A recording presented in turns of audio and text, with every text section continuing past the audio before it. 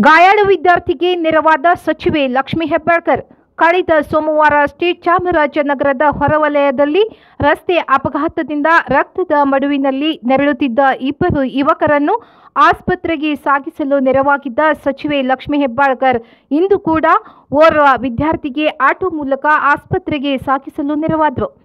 ಉಡುಪಿಯ ಕಾಪು ತಾಲೂಕಿನ ಮಣಿಯೂರಿನ ಪೆಳಪು ವ್ಯವಸಾಯ ಸಹಕಾರ ಸಂಘದ ಅಮೃತ ಮಹೋತ್ಸವ ಸಂಭ್ರಮಾಚರಣೆ ಹಾಗೂ ಸಹಕಾರಿ ಮಹಲ್ನ ಉದ್ಘಾಟನಾ ಸಮಾರಂಭದಲ್ಲಿ ಪಾಲ್ಗೊಂಡ ಸಚಿವರು, ಉಡುಪಿಯತ್ತ ಬರುತ್ತಿದ್ದ ವೇಳೆ ರಾಷ್ಟ್ರೀಯ ಹೆದ್ದಾರಿ ಅರವತ್ತಾರರ ಕಾಪು ಕ್ರಾಸ್ ಬಳಿ ರಸ್ತೆ ದಾಟುತ್ತಿದ್ದ ವೇಳೆ ವಿದ್ಯಾರ್ಥಿಯೊಬ್ಬನಿಗೆ ಅಪರಿಚಿತ ವಾಹನ ಡಿಕ್ಕಿ ಹೊಡೆದ ಪರಿಣಾಮ ರಸ್ತೆಯಲ್ಲೇ ನೆರಳುತ್ತಿದ್ದ.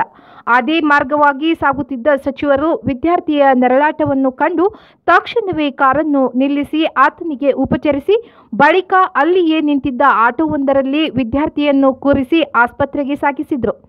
ಸಚಿವರ ಈ ಕಾರ್ಯ ಸ್ಥಳೀಯರ ಮೆಚ್ಚುಗೆಗೆ ಪಾತ್ರವಾಯಿತು.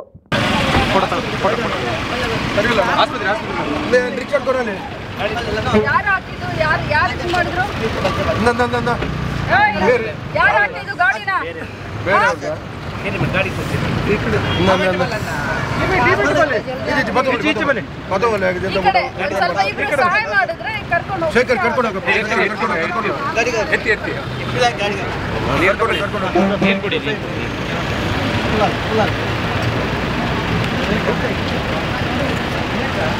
ಅವಿ ಪಕ್ಕ ದಾಲಿ ಎತ್ತಲ್ಲ ಫೋನ್ ಮಲ್ಪ್ಲೆ ನೀರು ಕೊಡ್ಸಿ ನೀರು ನೀರು ಬರ್ರಿ ನೀರು ಬರಮ್ಮ ಅಲ್ಲ ನೀರು ಬರ್ರಿ ಯಾರು ನೀವೇ ನೀವು ನೀವು ಚೀಪಾಸ್ ಯಾರು ಗಾಡಿ ಯಾರು ಯಾರು ಹಾಕಿದ್ದು? ಪಾಸ್ ಆಯ್ತು. ಆಯ್ತು ತಾವು ತಾವು ಸ್ವಲ್ಪ ನೋಡ್ಕೊಳ್ಳಿ ಒಂದು ನೋಡ್ಕೊಳ್ಳಿ ಕಾರ್ ಫ್ರಾಕ್ಚರ್ ಆಗಿದೆ ಫ್ರಾಕ್ಚರ್ ಆಗಿದೆ ಫ್ರಾಕ್ಚರ್ ಆಗಿದೆ ಕರ್ಕೊಂಡು Don't, don't worry, don't. ನೀವು ಹೋಗ್ರಿ ನಾಳಿದ್ರೆ ಫೋನ್ ಮಾಡಿ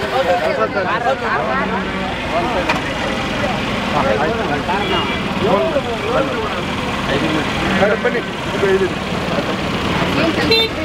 ಏನ್ ಕೆಲಸ? ಹತ್ತಾರೆ ಗಡಗ